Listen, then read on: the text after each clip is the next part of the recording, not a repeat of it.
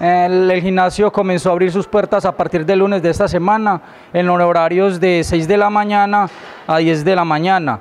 Y en la tarde al momento estamos de 4 de la tarde a 7 de la noche.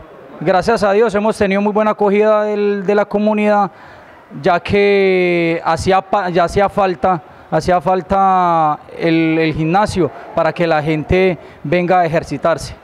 En cuanto a las máquinas que se encontraban en la Ciudad de la Cultural y Deportiva América, el monitor deportivo añade que se le están haciendo el respectivo mantenimiento para darle su funcionamiento. También hace la invitación para aprovechar estos espacios de sano esparcimiento. Así claro, no basta pues de que invitar a los, a los jóvenes de que hagan parte de este proyecto de la administración municipal que como dice el, el logo de nosotros que es Puerto de Río para todos.